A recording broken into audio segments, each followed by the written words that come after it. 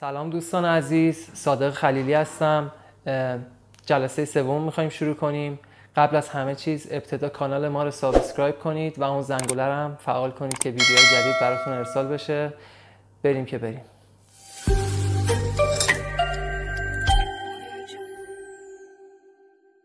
خب دوستان عزیز برای اینکه بتونیم نوتایی روی fretboard اجرا کنیم ابتدا باید دستمون فرم صحیح داشته باشه.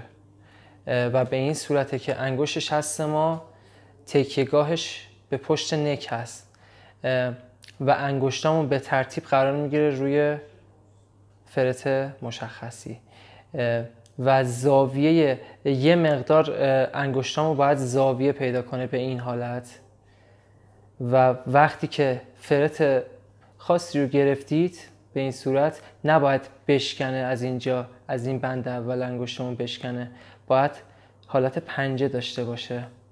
این حالت رو باید حفظ کنه دستتون انگشتاتون و نباید از مچ دستتون زیاد تا بشه.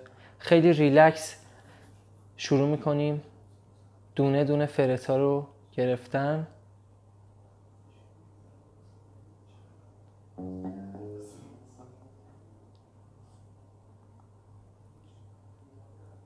و سعی کنید فاصله انگشتاتون با سیم رو حفظ کنید همیشه که به مرور تو سرعت های بالاتر بتونید راحت تر کنترلش کنید. خب تمرین شماره یک رو شروع می‌کنیم. فقط یه مقدار باید با سرعت پایین این کار رو انجام بدیم. این تمرین رو شروع کنیم که دست چپ و راستمون به هماهنگی لازم برسن با هم دیگه.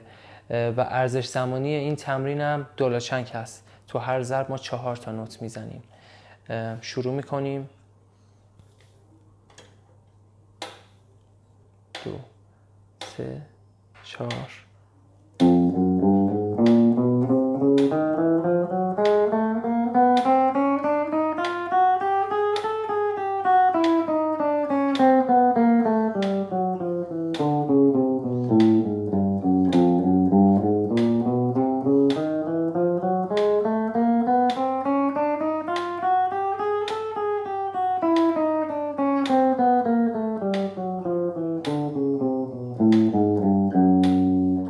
تمرین دوم مثل تمرین قبلی فقط انگوش گذاری دست چپ تغییر می‌کنه به این صورته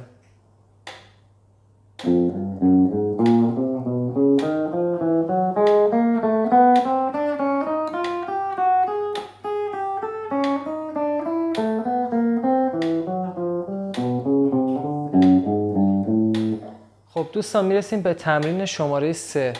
با ارزش زمانی تریپلت.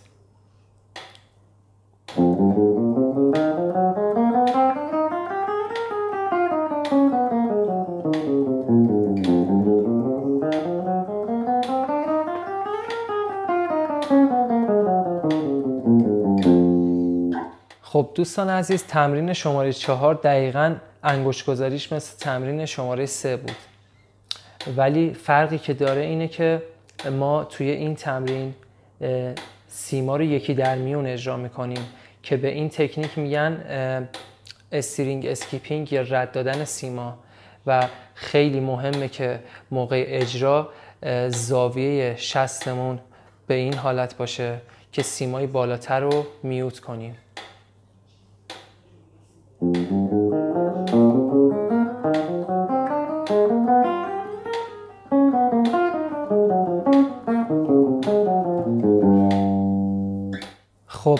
دوستان عزیز می‌رسیم به تمرین شماره پنج. این تمرین یکم ملودیکه و باید به انگوش گذاریش خیلی دقت کنید.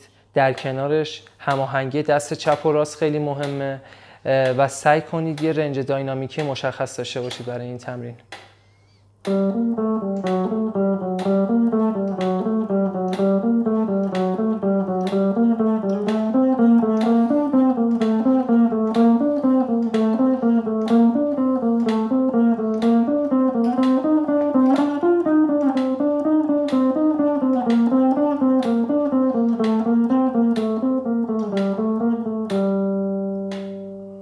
دوستان عزیز می‌رسیم به تمرین شماره 6 تمرین آخر این جلسه است.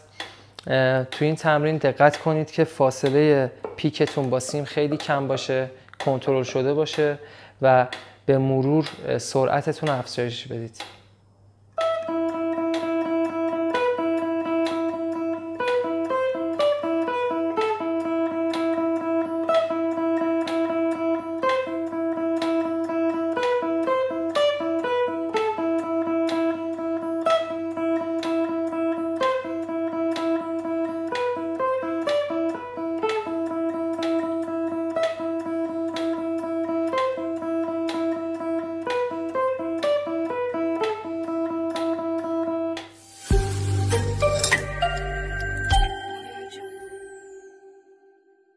خب دوستان عزیز جلسه سومم تموم شد.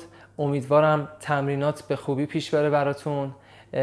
قبل از خدافظی ازتون می‌خوام که کانال ما رو subscribe کنید و اون زنگوله هم فعال کنید که ویدیوهای جدید براتون ارسال بشه و حتما دقت کنید که تمرینات رو با مترونوم انجام بدید و هماهنگی بین دست چپ و راستتون رو خیلی بهش توجه کنید که هیچ وقت دچار مشکل نشید تو جلسات آینده. و همین دیگه. امیدوارم موفق باشید. خیلی ممنون. خدافظ